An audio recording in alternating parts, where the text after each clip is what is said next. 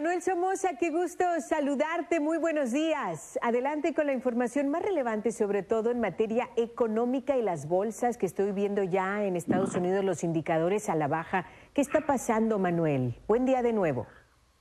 Buen día, Tania. Mira, ayer tuvimos uno de los días más volátiles en la historia de Wall Street.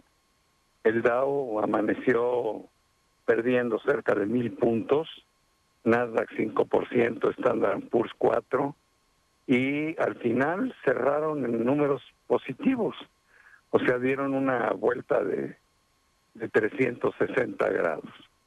Esto muestra la enorme volatilidad. Sin embargo, hoy, pues vuelven a abrir en forma negativa. Vamos a ver cómo se comportan las bolsas a lo largo de la, del día. En Asia están negativas y en Europa ayer perdió muchísimo, hoy están recuperando pérdidas de lo que sufrieron ayer. Toda esta incertidumbre tiene dos razones fundamentales.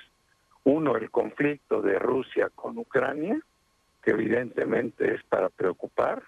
Y el segundo pues, es que hoy se inició la reunión de política monetaria de la Reserva Federal, cuyas conclusiones nos darán mañana, y a ver si eso limita o aminora la especulación que hay sobre cuántas veces va a subir la tasa de interés de la Reserva Federal este año en Estados Unidos.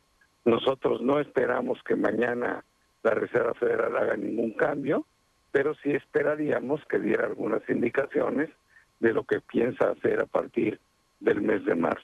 Eso es lo más relevante en los mercados al día de hoy. El peso abre bastante presionado, llega y toca 20.70, en este momento está sobre 20.66 20, y también es parte de la volatilidad propia de los mercados, donde lo que ha ganado terreno es el dólar con respecto al resto de las monedas.